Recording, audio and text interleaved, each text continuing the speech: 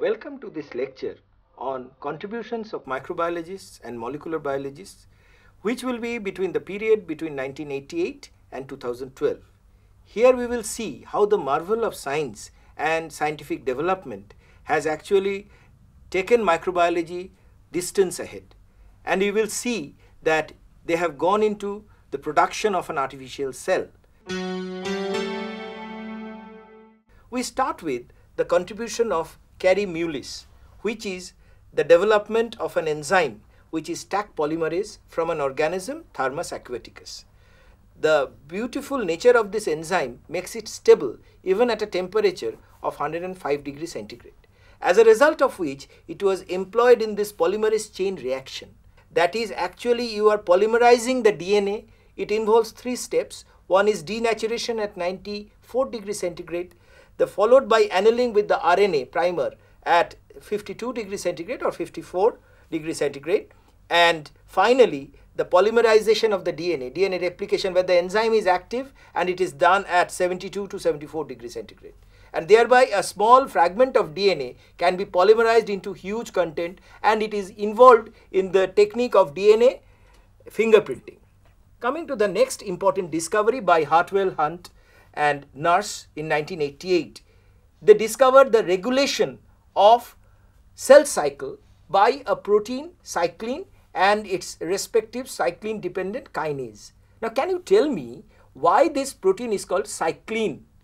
So cyclin is a protein that is named after its cyclic nature of increase or decrease during the stages of cell division. Precisely. Cyclin is the protein which is increasing and decreasing and binding with CDK and regulating the different steps of the interphase that is G1S and G2 and thereby it is controlling the progress of cell division and that is why the cancer development can be arrested by changing the cyclin or CDK activity. Now this person was Stanley Foucault. He in 1988 he gave a new version of the famous Koch's postulate and it was called the molecular Koch's postulate where he actually stated that for every disease there is a particular virulent gene involved and this gene is producing the different virulent reaction or protein and if the gene is present there will be infection. If that gene is absent that infection will not take place. So for a successful infection there should be the virulent gene present. Now these are the postulates and definitely the end he is mentioning that immunity is always protective in nature. Immunity is protecting not only plants but animals also from infection but it is not really that organism. It is more important whether that organism is having the pathogenic gene or not. So how is the modern form of Koch's postulate different from the original one? Yeah. In the primitive Koch's postulate, it was stated that for every disease there is a pathogen involved. But here they are saying the pathogen should have the infectious gene that is the virulent gene and if the virulent gene is present then only infection will take place otherwise not. The discovery in 1989 by Renard and others actually showed that bacterial cell culture can be transformed. And this was done by allowing the gene to enter through some rupture in the membrane which was electroporation. And this was the first way by which a target specific modification is possible artificially without using the plasmid entry of gene. Now this is an important organism denoted by Relman and others in 1990 now Bartonella infection is very much associated with cat scratch and this is also called cat scratch disease. But this particular infectious organism is modifying the blood vessel, it is inducing the angiogenesis and thereby this endothelium is modified and thereby severe rash develops. And this is involving the endothelial cells, the red blood cells and a severe hypersensitivity induced by cat scratch and it also it is spreading via some insect vector. So this particular discovery indicate a modification of lymph node and erythematosis brought about by Bartonella species. This is a cyanobacteria with a typical chloroplast and they actually were denoted by Schopf et al. in 1993 where they have shown that this is one of the earlier cyanobacterial cell with a typical structured chloroplast. So this is one of the earliest organism capable of photosynthesis way back around 3.5 billion years ago. This is an organism called Haemophilus influenzae which is causing the disease of influenza. The gene was mapped by Craig Venter and others in 1995 and this particular Institute of Genomic Research actually is accredited with the first mapping of a bacterial gene which is the Haemophilus influenzae and thereby they proved that this gene function which gene is functioning in what way was very nicely illustrated. This is another particular virus to which we don't have any answer and this is Hanta virus which was the structure was explained in 1995 by Peters and others and they clearly showed that the hantavirus had some glycoprotein on their surface and they have three different types of nucleic acid which is the small, medium and large size with definite size difference and thereby the infectious nature of the virus was very nicely explained. But definitely though the DNA function was denoted but till now there is no particular answer to this viral infection.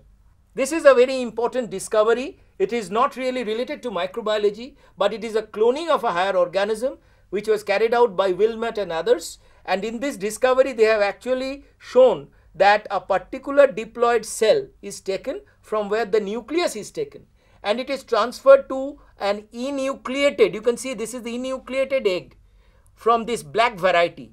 The white variety is producing the diploid nucleus transferred to the black variety and it developed into a diploid cell which will ultimately transferred to the mother of black variety but it developed a white variety lamb and this was Dolly and the person behind the show was Wilmot. It is very unfortunate that Dolly had a very premature death because she suffered from some congenital abnormality. But the credit is there. They created the first artificial animal without the act of sexual fertilization. Now we come to a very important discovery which was carried out by Fredericks and Relman. I have already told you that Koch's postulate was challenged or modified earlier. But here what we see that the Koch's postulate is elaborate in case of viral infection in human where they are saying that the viral infection is definitely related to the copy number of the pathogen associated DNA.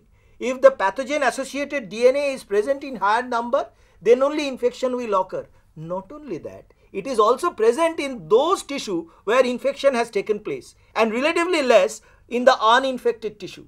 So thereby it was concluded that for any successful infection of a virus, it is very nice that that virus will have the infectious DNA at the same time that is being transferred to the host cell to carry out a successful infection. And in, in any case, if the infection is not there, then that DNA is not expressed. And if the DNA is changed, infection will not take place at that time, but again will come back when the change is there.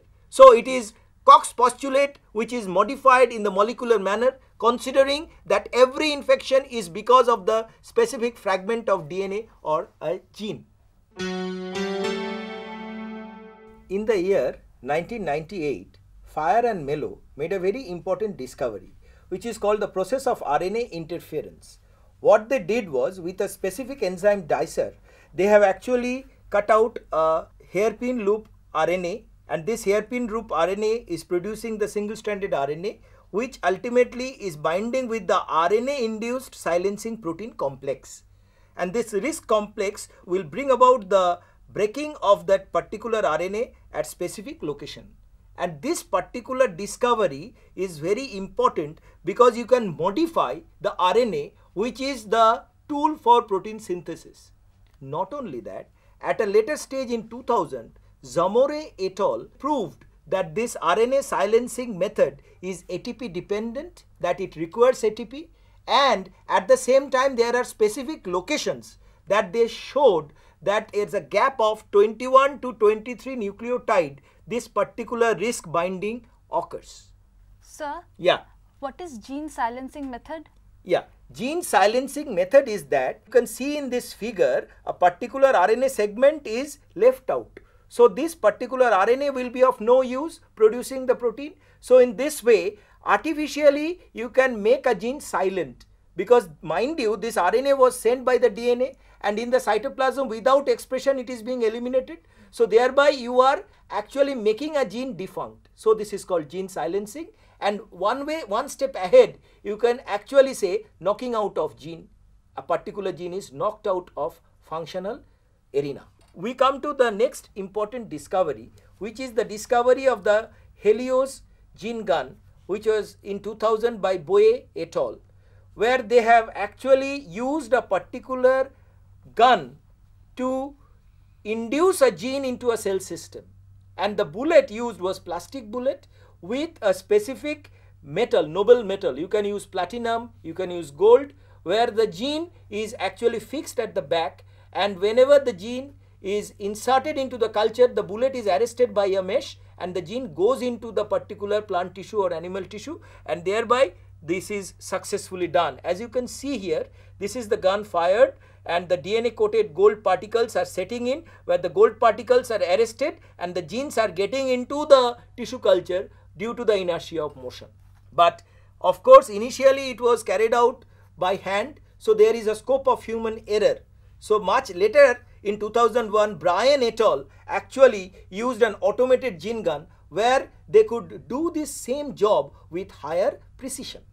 So why is the method called biolistic method? Yeah, because they are using bullet. So you can call it bioballistic method. So bioballistic method is shortly termed as biolistic method.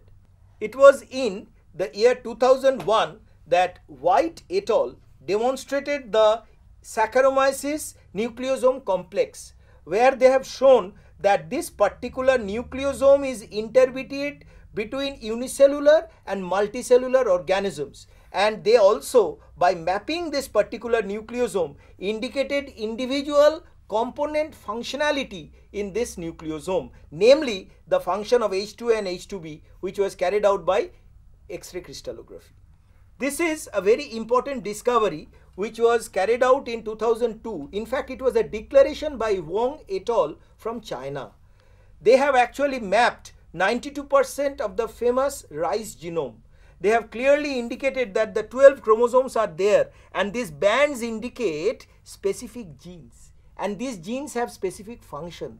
So the knowing of rice genome help us to modify to produce a transgenic rice and you can see here the flags of different countries which indicate that these countries were involved in the rice gene mapping project. But ultimately the declaration came from China.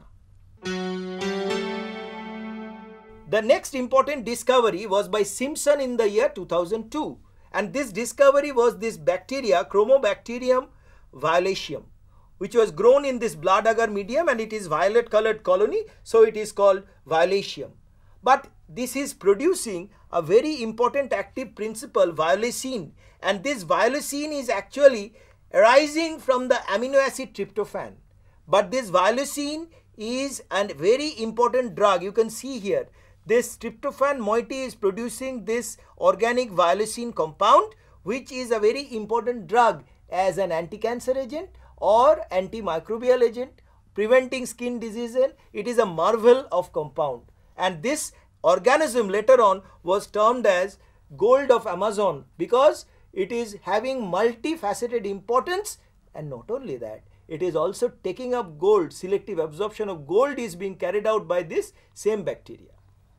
This is a particular organism denoted by Hillman in 2002. You can see this is Streptococcus mutans. Now you all know this particular bacteria Streptococcus is causing the dental caries. It is invading the different areas of the teeth. You can see the crown, you can see the neck, you can see the root. And obviously when there is an infection here, you have to go for root canal treatment. But this particular bacteria can be modified, mutated and when it is mutated it will add to your buccal cavity flora and that will prevent the infection of a pathogenic bacteria. So just see the same bacteria being mutated will act as a protective agent protecting you from the infection of Streptococcus mutans. In the year 2003 Heuber et al discovered a very important compound which is guanyl hydrazone which is actually inhibiting an enzyme deoxyribonucleic synthase. this DHS inhibitor, it is suppressing the hyposine production. Mind you, this hyposine is actually an inhibitor for eukaryotic initiation factor or protein synthesis factor that is EIF5A. But this which is acting as an eukaryotic inhibitor is also acting as a cellular cofactor for the HIV-1 virus. So this HIV-1 can actually be controlled by this compound guanylyl hydrogen which ultimately will inhibit this enzyme DHS and thereby HIV replication can be under control. So just you think a particular control of eukaryotic protein synthesis inhibitor is being employed in HIV control. The next discovery is by Volpe and Schmack. They in 2003 described a particular heterochromatic gene silencing method. Now you all know in a particular chromosome there is the centromeric region.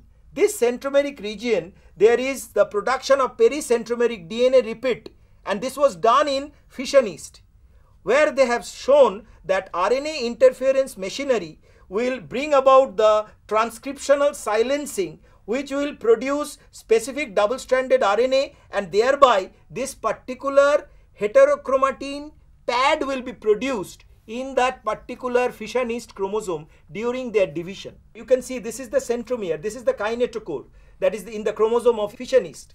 There, if this particular heterochromatin block is there, then there will be very nice binding. These are the spindle fibers, very nice binding of the spindle fibers. But if this heterochromatin shield is not there, this binding will not take place. So what is indicated here by regulating this heterochromatin formation, you can actually allow a particular cell to divide nicely. So what is the implication of this discovery? It is indicating by regulating the heterochromatin, you can stop a particular cell from dividing and thereby you can induce cellular irregularity or you can stop a particular irregularity to happen in a cancerous cell. So in both way it is important though of course it was discovered in fission yeast. This is a TRIM5 gene. This TRIM5 gene was denoted by Stoe in the year 2003. Now why this TRIM5 gene is important?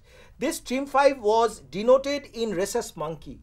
You probably know HIV is originating from rhesus monkey. So in rhesus monkey, they found out a gene which is resistant to HIV and they have clearly shown that in the particular genome of specific organ, this TRIM5 expression is there. You can see from this graph that specific TRIM5 expression will actually make that particular organism resistant against HIV infection. So from the originator itself, we have an answer to which we can resist HIV infection. This bacteria is our own because it was denoted by Mukherjee et al. from Sundarbans. This is an actinobacteria. They named a colony MS3 by 20. Typically actinomycetes colony and this colony was isolated from the Sundarban brackish water. But what is important here, this is producing a secondary metabolite which can kill the multi-drug resistant bacteria. So definitely we can consider that we still have different microbes which you have not explored properly till date. This person you know is Collins, the chairman of the Human Genome Project and under his leadership the Human Genome Map was introduced and this was the 23 chromosome where they are having approximately 23 to 25,000 gene and you can see the largest chromosome being chromosome 1 and the smallest being chromosome Y and all these bands are specific genes present in this chromosome. So the draft proposal which was submitted in 2003 was under the leadership of Collins. So in future we know which particular chromosome is functional in which way and in what way we can control those genes to actually regulate genetically controlled diseases. This is another discovery by a group of scientists under Dasgupta et al. in 2004. He actually showed this is a neuroinhibitor or neurotransmitter in the better sense of the term dopamine. Dopamine actually can induce apoptosis in the cancer cells. In the cancer cells of liver that is hepatocyte, they have clearly shown that you can see these are the cancer induced damage and whenever dopamine was applied the cancer induced apoptosis was more. So the cancer cells can be destroyed by application of dopamine which otherwise is a harmless compound.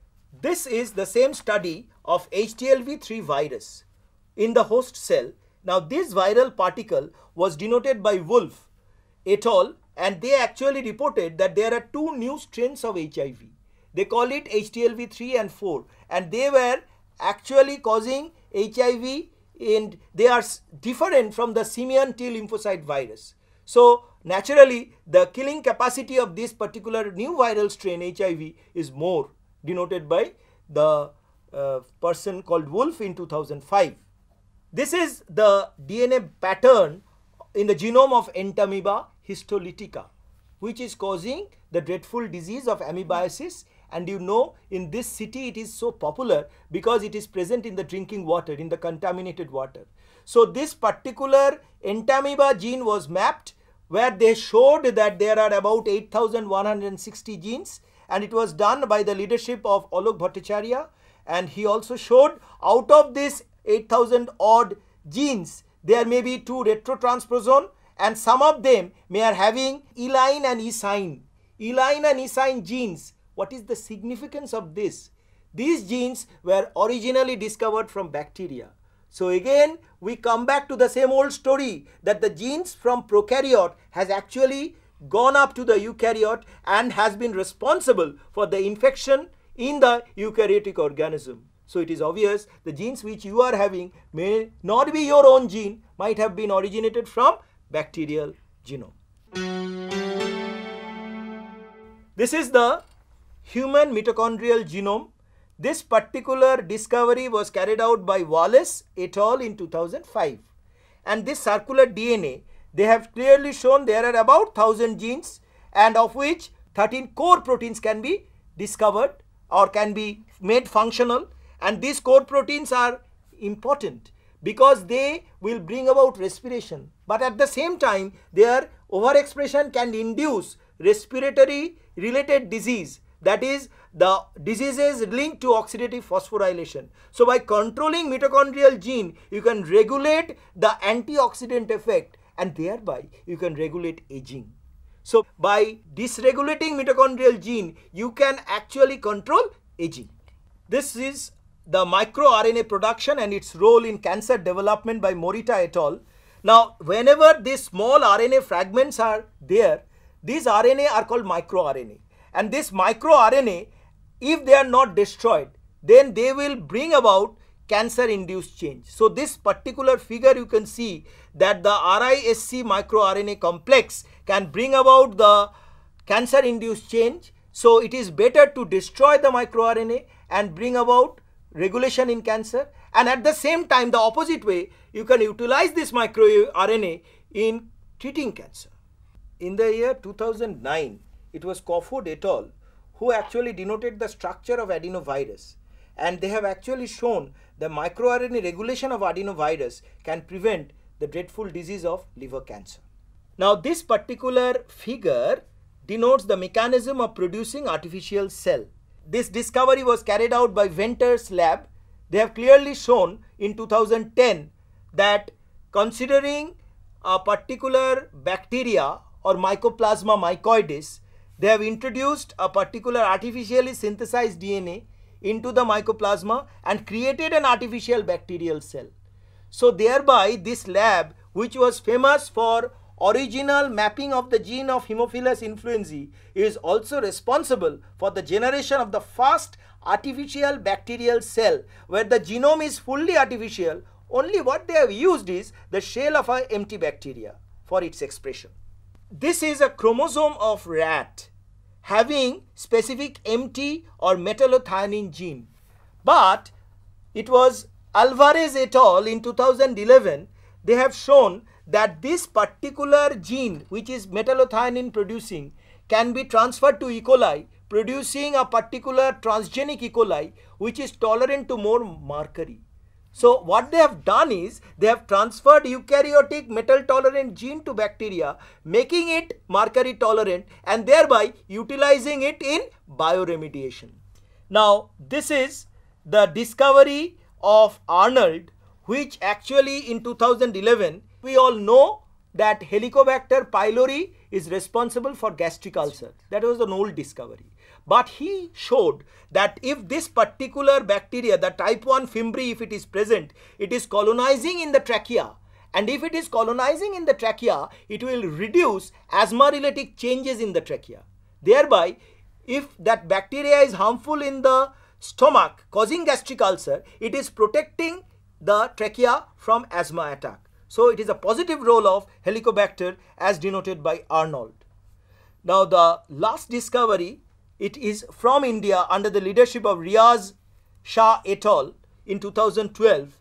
Following the same principle as carried out by Wilmot, Riaz et al. showed that they can produce the famous Pashmina goat. And this is the first cloned, artificially cloned Pashmina. In Kashmir University it was carried out. So you know the importance of Pashmina. It is having tremendous economic importance. If you can clone this goat, then you can produce more Pashmina. So economically it is highly viable. In conclusion, what we can see from 1988 till 2012, the discovery in microbiology, in molecular biology seems to be immense. We cannot really keep track every year four, five, six important discoveries taking place. So I have only selected some few major discoveries which not only changes our lifestyle but at the same time it can change the economy of a country. And lastly what we have also seen that we have now gone into the position of God. We can create artificial cell due to the marvel of molecular biology.